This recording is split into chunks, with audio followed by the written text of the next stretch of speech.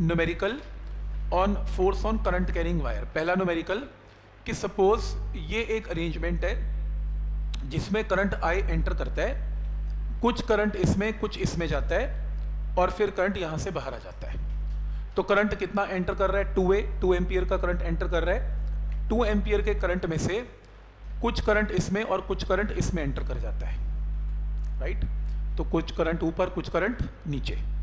तो to ampere में से हम ये बोल सकते हैं कि टोटल करंट कितना है? टू एम्पियर है। टू एम्पियर में से वन एम्पियर करंट इसमें और वन एम्पियर करंट इसमें एंटर होके वापस टू एम्पियर ऐसे आ जाते हैं। क्लियर है यहाँ तक? इसके बाद क्या हुआ?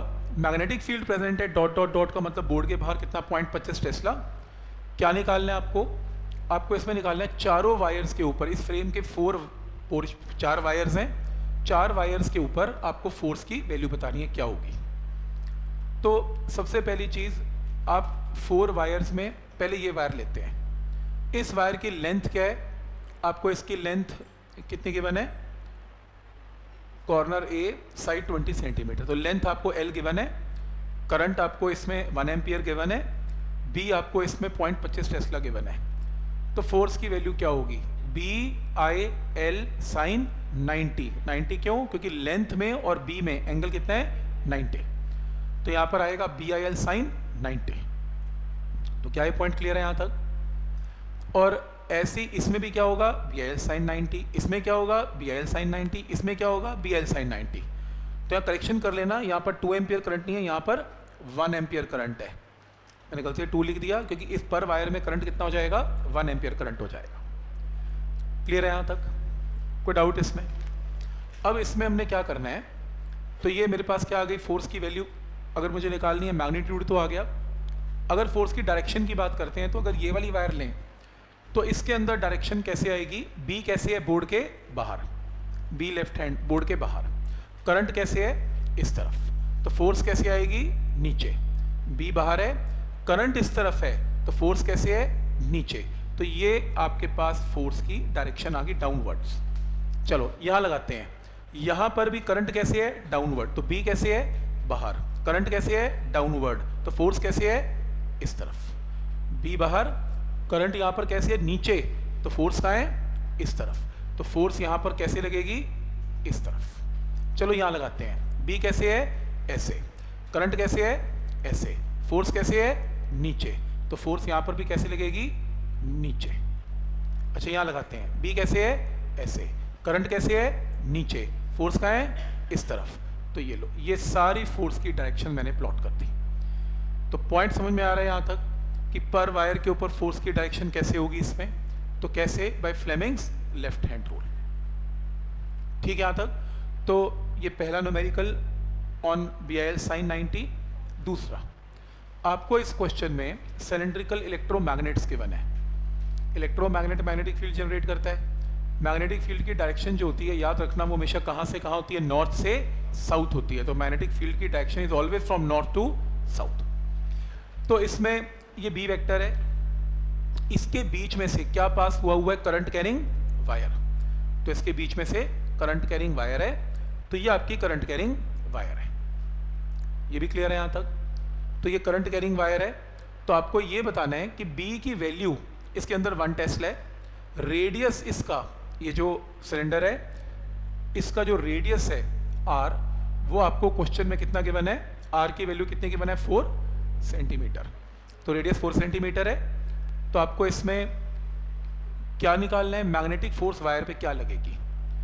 तो अगेन बी जो है, वो हमेशा कहाँ से कहाँ होता है? नॉर्थ से साउथ तो बी वेक्टर नीचे है। एल वेक्टर कहाँ पर है? जिस डायरेक्शन में करंट है। करंट कहाँ पर है? राइट। तो एल वेक्टर कहाँ है? राइट। तो बी वेक्टर नीचे है एल वेक्टर इस तरफ़ है। तो फोर्स कहाँ लगेगी? नीचे। बी ऐसे है बी जो है सॉरी नीचे है, करंट कैसे है? ऐसे है। बी नीचे है, करंट ऐसे है। तो फोर्स सॉरी कहाँ लगेगी? इनसाइड। तो बी ऐसे है, नॉर्थ से साउथ। करंट जो है, मेरी तरफ़ है तो फोर्स कैसे है? इनवर्ड। तो यहाँ पर जो फोर्स आएगी, वो कैसे आएगी? इनवर्ड आएगी। फोर्स की वैल्यू क्या होगी? बी आई लेंथ बोलो लेंथ क्या लें? वायर की लेंथ क्या लें? ये तो इनफाइनाइट लेंथ है। इनफाइनाइट लें? नहीं। सिर्फ़ ये लेंथ लें, जो कि मैग्नेटिक फ़ील्ड के अंदर लाई कर रही है। क्योंकि ये तो मैग्नेटिक फ़ील्ड में लाई नहीं कर रही तो यानी कि डिस्टेंस कितना कितना हो जाएगा? इसका डायमीटर जितना डायमीटर कितना है? टू आर तो B I into two R कोई डाउट इसमें। तो B I into two R तो वैल्यू आपके पास फोर्स की डायरेक्शन भी आ गई और मैग्नीट्यूड भी आ गया। नेक्स्ट क्वेश्चन है। आपको इस क्वेश्चन में गिवन एक स्ट्रेट वायर है जिसका मास 200 ग्राम है। तो ये एक स्ट्रेट वायर है। ये आपके सामने एक स्ट्रेट वायर है। ये रहा स्ट्रेट वायर ये रहा। और इसका मास क्या है? 200 ग्राम तो वेट कहाँ एक्ट करेगा? वर्टिकली डाउनवर्ड्स राइट तो वेट कहाँ एक्ट करेगा? वर्टिकली डाउनवर्ड्स तो it carries a current of 2 ampere is suspended in mid air by uniform horizontal magnetic field B vector. Find magnetic force on, magnetic force आएगा। Find magnetic force नहीं अच्छा magnetic field निकालना है sorry ठीक है B निकालना है इसमें बी ही निकालना है। अब क्वेश्चन में वो क्या कह रहा है? एक current carrying wire magnetic field में, ये एयर में सस्पेंडेड है। हवा में ऐसे टिका हुआ है। ऐसा कोई होता है? वायर हवा में टिकी हुई है? नहीं होता। क्यों? क्योंकि वायर का वेट उसे नीचे गिर देगा। पर ये current carrying wire magnetic field में है तो it will experience a force तो वो फोर्स कहाँ एक्सपीरियंस होगी? ऊपर। तो आपकी जो ऊपर की फोर्स है, वो वेट को जो बैलेंस करेगी तो उस केस में वायर नीचे नहीं गिरेगी। तो इसका मतलब जो इसमें वायर में करंट है, अगर राइट है बी कैसे है? बोर्ड के अंदर है क्रॉस बोर्ड के अंदर है। करंट कहाँ है? राइट है। तो फोर्स कहाँ लगेगी? ऊपर। बी करंट फोर्स ऊपर। तो अगर ये मैग्नेटिक फोर्स की वैल्यू क्या होगी? B I L sine ninety अगर ये फोर्स वेट के इक्वल हो जाए तो अगर ये फोर्स वेट के इक्वल हो जाए तो वायर नीचे नहीं गिरेगी। तो इस क्वेश्चन में क्रॉस मल्टीप्लाई करके क्या निकालना है? बी तो बी की वैल्यू क्या आएगी? M G by I in answer तो क्या ये पॉइंट क्लियर है यहाँ तक? ठीक है? तो कैसे सोचना समझ में आ रहा है? जैसे ये क्वेश्चन है। इस क्वेश्चन के अंदर, देखो, इस क्वेश्चन के अंदर आपको ये गिवन है कि figure shows triangular loop P Q R तो ये क्या है? P Q R triangular loop है carrying a current of I तो आई करंट है. The triangle is equilateral with side equal to L जो ट्राइंगल है, उसकी लेंथ क्या है? एल है. इक्वलेटरल ट्राइंगल है. B vector exist parallel to P Q तो बी वेक्टर कहाँ पर है? पी क्यू के पैरेलल है. ये रहा बी वेक्टर तो बी वेक्टर पी क्यू के पैरेलल है. क्या है? पॉइंट क्लियर है यहाँ तक? आगे. Then find forces acting on three wire separately तो आपको क्या निकालना है इसमें? कि ये जो तीन वायर्स हैं, इसमें कितनी फोर्स एक्ट कर रही है सेपरेटली तो सबसे पहली चीज़ आपने उसमें क्या करना है? एक एक करके शुरू करते हैं। पहले ये वायर लेते हैं। चलो पी क्यू एक बात बताओ पी क्यू में करंट कहाँ पर है? राइट तो पी क्यू की डिस्प्लेसमेंट कहाँ है?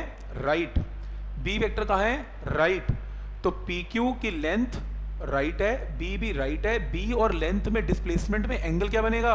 ज़ीरो तो फोर्स क्या लगेगी? B I L sine zero that is zero तो पहला पार्ट क्लियर है फोर्स इसमें ज़ीरो लगेगी। चलो, दूसरा पार्ट इस पार्ट में करंट कहाँ पर है? ये रहा। तो डिस्प्लेसमेंट कहाँ पर है? ये रही। जहाँ पर करंट है, वहीं डिस्प्लेसमेंट है तो डिस्प्लेसमेंट ये रही। बी वेक्टर कहाँ है? राइट तो अगर ये एंगल 60 है तो ऑब्वियसली ये एंगल भी 60 है। तो ये कितना हुआ? 120 तो फॉर्मूला क्या बनेगा? बी आई एल साइन 120 क्योंकि आपको एंगल डिस्प्लेसमेंट में और बी में लेना है, और बी में और डिस्प्लेसमेंट में एंगल कितना है? 120 तो क्या ये स्टेप भी क्लियर है? पॉइंट समझ में आ रहा है यहाँ तक? बस आपने करंट की डायरेक्शन देखनी है। अगर करंट की डायरेक्शन ऊपर है तो आपने एंगल बी और ऊपर में लेना है, और अगर करंट नीचे आ रहा होता तो फिर नीचे और बी में लेते। कोई डाउट इसमें? पॉइंट समझ में आ रहा है यहाँ तक? ठीक, आगे।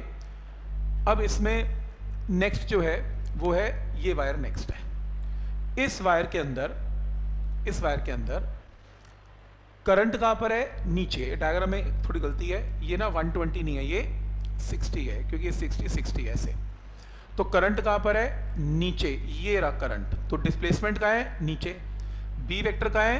राइट तो डिस्प्लेसमेंट और बी वेक्टर में बोलो एंगल कितने हैं? 120 तो क्या आएगा? B I L sine 120 answer तो पॉइंट सबको समझ में आ रहा है कि जिस डायरेक्शन में करंट है, वही आपके डिस्प्लेसमेंट है तो आपको डिस्प्लेसमेंट और बी में एंगल ढूंढना होगा तो वो अलग अलग डायग्राम में आपको अलग अलग ही मिलेगा।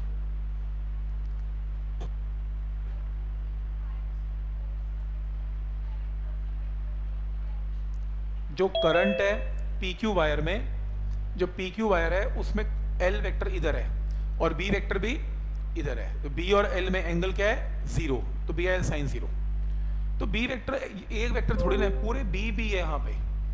यूनिफॉर्म मैग्नेटिक फ़ील्ड में पड़ी हुई है, पूरी की पूरी है। तो पॉइंट क्लियर है यहाँ तक? ऐसा नहीं है कि यहाँ पे बी है, यहाँ पे बी नहीं है। तो पूरे रीजन में बी बी बी प्रेजेंट है। ऐसे है।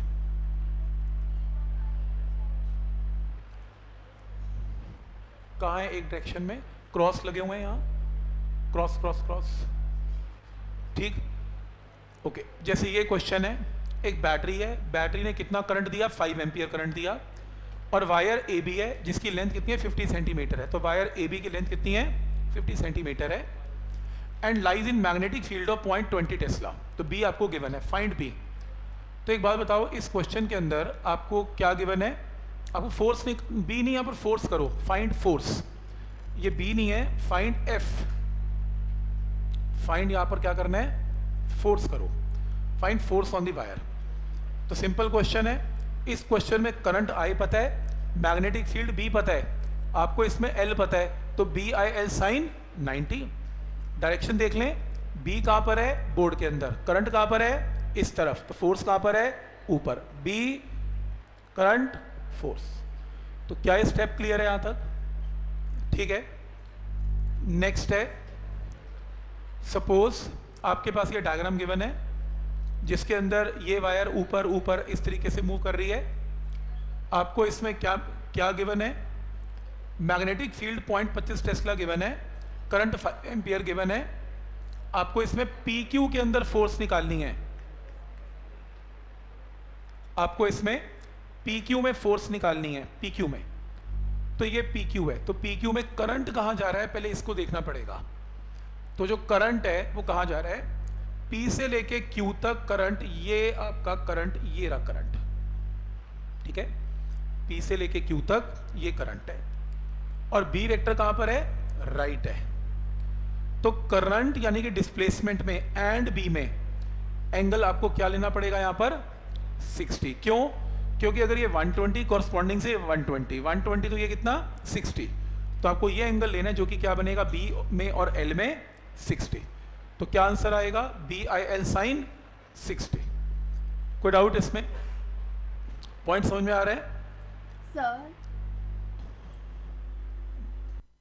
बोलो। सर एक बार वो एंगल बता दो।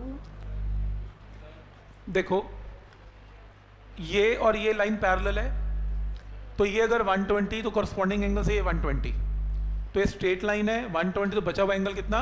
60 सर। 60 इसलिए लिया क्योंकि हमारी डिस्प्लेसमेंट ये है और बी ये है तो हमें एंगल ये लेना है। ये नहीं लेना। एल वेक्टर और बी वेक्टर में नीचे वाला, ये वाला। ठीक है?